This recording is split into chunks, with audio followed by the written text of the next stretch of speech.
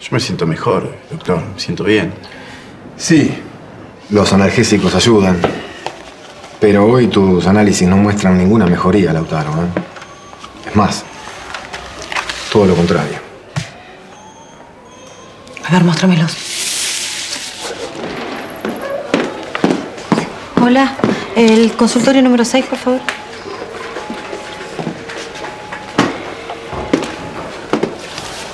A ver, perdón, Javier. ¿Eso qué quiere decir? Que hay que insistir con la diálisis. Eso es que eh, puedo zafar del trasplante, entonces. No necesariamente. Perdón, perdón. ¿e- ¿Esta es la única alternativa que tenemos? Por ahora sí.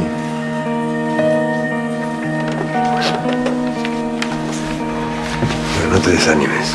En cuanto estén los resultados de las pruebas de compatibilidad... Los resultados ya están. Ah, Ni usted ni Martina son compatibles. Tendríamos que ir pensando en algún otro familiar. Sí, hay un... No, no, no hay, no hay, no hay. No, hay. no, no, no tengo más familia, no tengo hermanos, no tengo primos.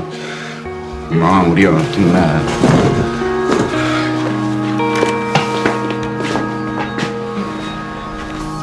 Él va a estar bien. Con su hermano. ¿Con mi hermano? Yo soy tu hermano.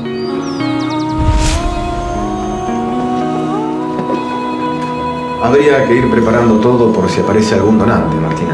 Sí, hay que ponerlo en la lista nacional por las dudas para no perder tiempo.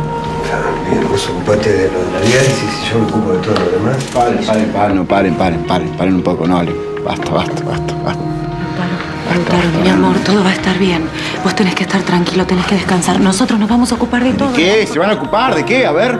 ¿De qué? ¿De mi vida? ¿De mi muerte? ¿De qué se van a ocupar? Déjame, déjame que me entren las cosas en la cabeza. Aguantá, pará, pará. Vení, vení, no, no, no, déjame, déjame, en serio. Estar un tiempito solo.